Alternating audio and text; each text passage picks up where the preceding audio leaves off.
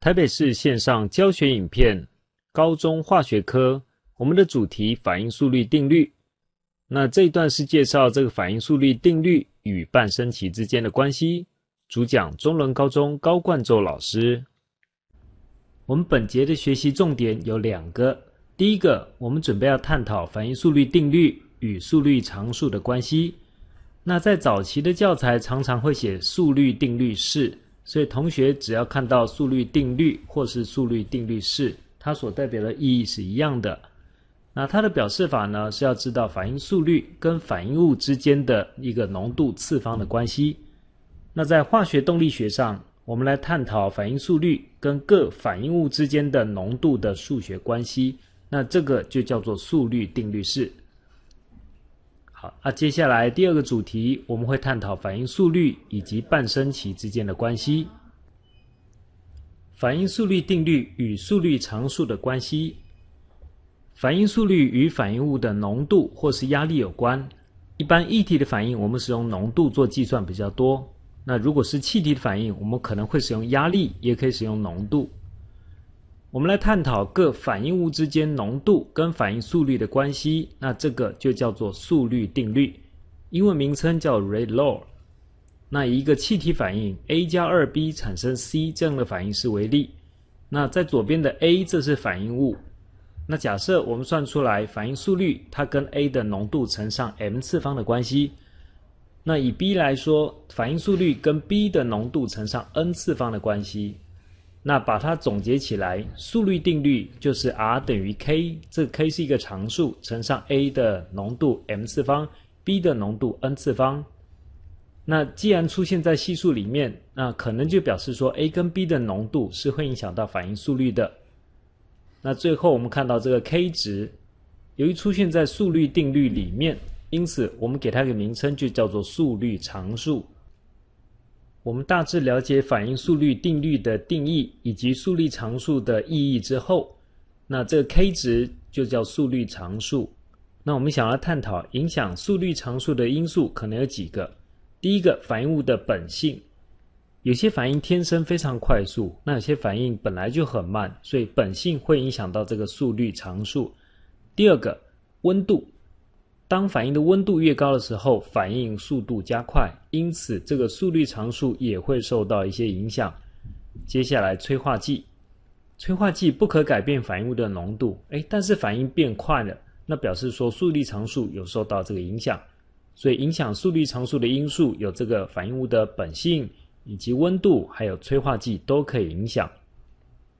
那接下来，速率定律之上面的 m 跟 n 次方，一般我们就叫做反应级数。那它这个级数可以大于，也可以等于，或是小于零，全部都可以。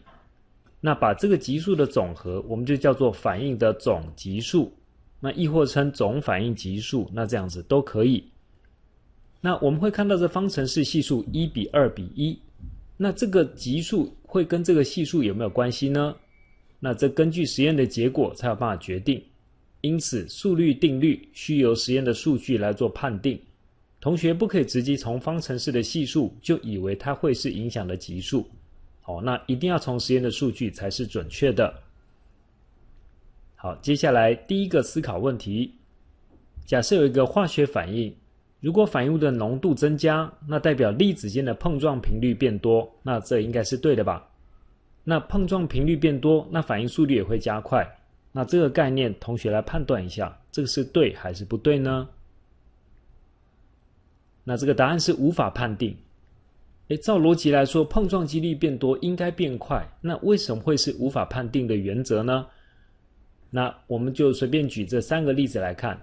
第一个代表是零级反应，因为级数是零，这是一级，这是负一级。那以零级来说，r 等于 k，因为这乘起来是一，代表速度是一个固定值，它是不变的。所以你浓度再怎么增加，反应速率不变。那可是一级反应呢？那是一个正比关系，它会变快。那负一的关系，哇，那就不一样了。浓度越浓，那变导数，它的速度反而是越慢的。所以我们在不清楚它反应的级数的情况之下，浓度增加一定变快，那这样的逻辑不见得是正确的。我们知道速率定律是必须从实验的数据去测定，所以我们简单用一个简单的实验数据来模拟，让同学试试看速率定律是该如何去推求出来。好，那反应物是 a 跟 b，因此我们假设速率定律就是 a 的 m 次方，b 的 n 次方，那这是一个速率常数。那由实验二三两组做对照，那我们可以看到 a 的浓度变多两倍，那 b 的浓度不改变的情况之下，那整体的反应速率增加了四倍。a 的浓度两倍，整体速度变四倍，表示对 a 来说，它的次方应该是二次的影响。再来，我们从实验一跟二两组去做对照，这时候 a 的浓度不变了，这时候 b 的浓度变化。那我们实验的精神就是一组对对照组，对完组是变动组，b 浓度增加两倍，整体的速度也是增加两倍。那这表示说，对 b 来说。它的反应次方，也就是级数是一级反应，所以这个速率定律我们就可以推出来了：R 等于 K 乘上 a 的二次方，b 的一次方。也就是说，反应速率对于 a 的浓度比较敏感，因为它的次方关系比较大一点，那对 b 的关系就影响少了一些。那再来观察一下反应方程式系数，a 跟 b 都是二，那表示说它的次方关系。跟方程式是没有关系的，所以再次强调一次，速率定律里面的那个次方关系只跟实验的结果有关，跟方程式系数不见得有全然的关系。好，接下来我们的主题要求出速率常数 k 值。那刚才我们已经算出速率常数了，那 k 值该如何去求出来呢？那这个答案很简单。任何一组数据带进去，都可以算出它的速率常数。所以第一组数据看起来比较简单，我们把它带进去。同学次方不要弄错，我们可以算出这 k 的数值就是一。那很重要的，再提醒同学单位，那单位是 m 的负二次方秒分之一。那怎么去得到？其实也很简单，速率它的单位已经有了，然后再来两个浓度。这是二次一次，正浓度是三次方，那移项过去就可以求出 k 值的单位出来。接下来我们准备探讨速率常数 k 的单位跟各种反应级数之间有怎么样的关联。那第一个表格我们看到零级反应的话，r 等于 k 乘上 a 的零次方，那 r 就是速率，时间分之浓度的变化，零次方就是一，所以第一个很快算出。K 值的单位就是 m 乘上 s 的负一次方，那浓度就是升分之末，所以也可以移项写成这个样子，看起来好像蛮厉害的。再来一级反应，那 a 的一次方一样，我们把所有单位列上去，该消掉给它消掉，得到 k 的单位 m 的零次方。再来二级反应，那一样把它消下去，最后得到 k 的单位负一次方。到这边我们稍微暂停一下。同学有没有看到，k 的单位跟级数之间有怎么样的关联？零级反应这一次方，零加一等于是一；一级反应这是零次方，加起来是多少？还是一？二级反应这是负一，这两个加起来也是一。那三级也是如此吗？我们再来看一次。那把这个浓度单位都全部消掉之后。K 值的单位 m 的负二次方，哎，很开心吧？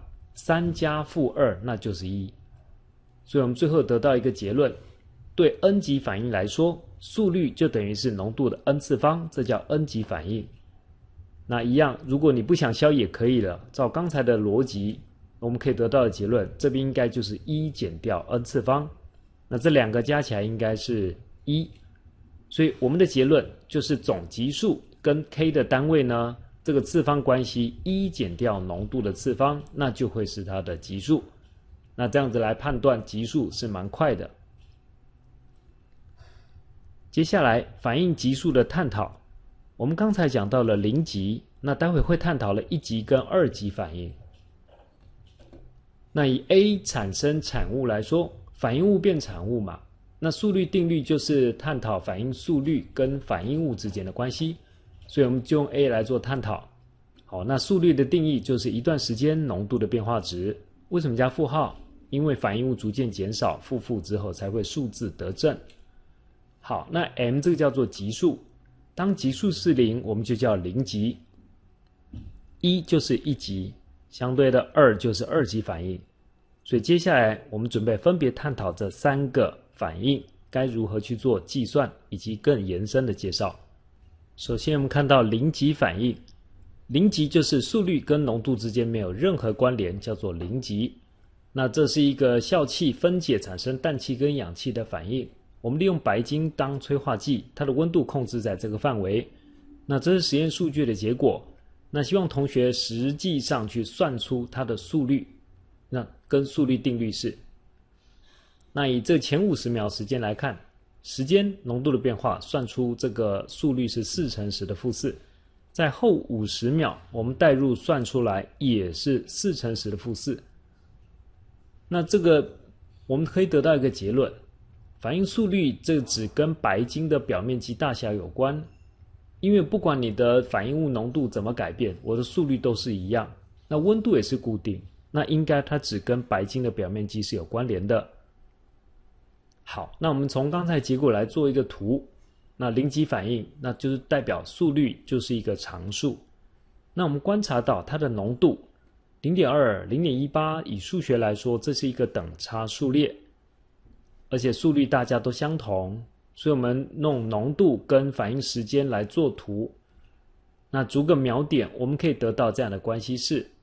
所以浓度跟时间呈现一个正比关系。好，那知道浓度对时间关系图之后，我们想要再看另外一个，就是速率对浓度的关系图。那由于它跟反应的浓度是没有关联的，所以速率从头到尾都是一致的。不管你浓度再怎么变，我的速率都是一样。那这就是零级反应的特征。我同学对这个两个图形应该要很清楚。如果不清楚，建议再翻到前面反复聆听。接下来我们探讨一级反应。顾名思义，一级反应就是反应的速率跟浓度成一次方的关系。那以这个实验的数据来做探讨，在前两分钟，我们算出它的速率零点一；在后两分钟，它的速率是零点零五。那最后一个我们省略，我们再算出第三个是零点零二五。同学在这边有有没有一点感觉？在相同的时间间隔，两秒、两秒钟、两秒钟，时间间隔是一样的。它的浓度呢，呈现等差数列的一个变化，更正等比数列。刚才零级是等差，那我们一级就是等比。好，那我们从这实验数据来做图。那这个等比数列，我们求出它这个浓度对时间的关系，依序秒点得到，它是一个呈一个抛物线的曲线。这是一个曲线关系，所以一级反应在浓度跟时间的关系图是一个曲线。再来，我们想要知道另外一个曲线图，那就是速率对浓度的关系。那这个两个两分钟之内啊，它的浓度那到底是以哪一个做基准？那其实是把两个加起来除以二，所以第一个零点四加零点二除以二，那是零点三。所以这边求的是一个平均浓度的一个概念。那接下来依序做平均，再得到第二个，再平均得到第三个，那这个连起来得到是一个直线的，所以速率对浓度呈现一个正比的关系。那既然是正比，那才符合这一次方的概念嘛。好，那一级反应介绍完毕。那接下来我们探讨这个浓度从零点四降到零点二。这在定义来说，这叫做半升期，浓度减半所需要的时间，所以这个箭头拉下来两分钟，就是这个反应的半升期，它浓度减半了。那接下来看到零点二降到零点一，浓度再减半，是不是时间还是两分钟？所以在一级反应的特色就是它的半升期从头到尾都是一样，那这就是一个一级反应的特征。我们来对零级、一级以及二级反应来做个总整理。那二级反应有很多的计算，需要用到微积分才有办法办到。所以同学或许在高三甚至在大一学到微积分之后，有兴趣再做这边的计算探讨。那这边老师只是帮大家把结论给列上去，方便同学做整理归纳。第一个零级反应，由于速率是固定值，因此它就成水平线。一级反应是正比关系。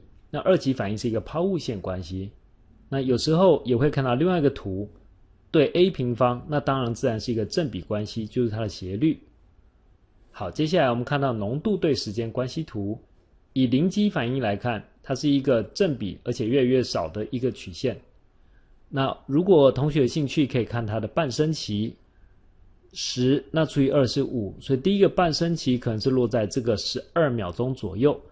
那第二个半升期到二点五，所以对过去呢，它的半期可能在十六七左右，所以它半升期呢是会变化，那是会越来越短的。好，再来一级反应浓度对时间关系图是一个曲线，那这个半升期呢是固定，都从头到尾都是五秒。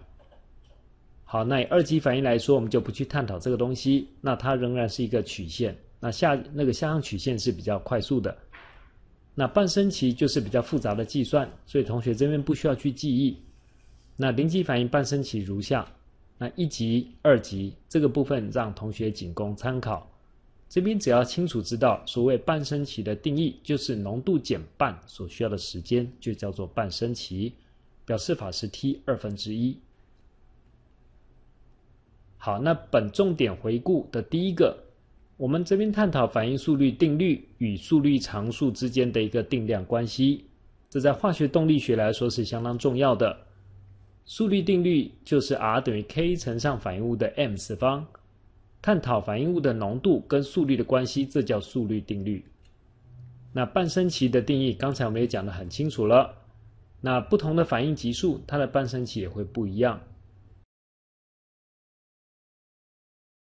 感谢制作团队以及教授的指导，让本影片可以录制成功。